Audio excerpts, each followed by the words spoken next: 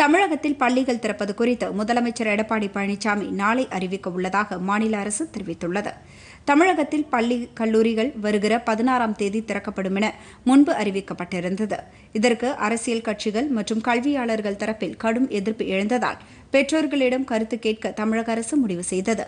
இதன்படி தமிழகம் முழுவதும் அந்தந்த பள்ளிகளில் தலைமை ஆசிரியர்கள் முன்னிலையில் பெற்றோர்களிடம் கருத்துக்கள் கேட்கப்பட்டன. இதில் பெரும்பாலான பெற்றோர் பள்ளிகளை திறக்க ஆட்சேபம் தெரிவித்தனர்.